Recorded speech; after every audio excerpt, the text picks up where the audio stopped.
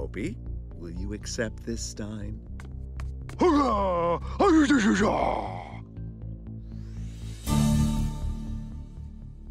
Bachelor Nick? Why are you here? They make me come to all these things. Cool. How's Vanessa?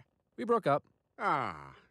I would murder my family for one hour with Corinne. Eh, she was a little young. You know how stupid you sound? Peter, take a step forward. I'm sorry. I keep messing up. You're seeing me at my worst. I'm very nervous.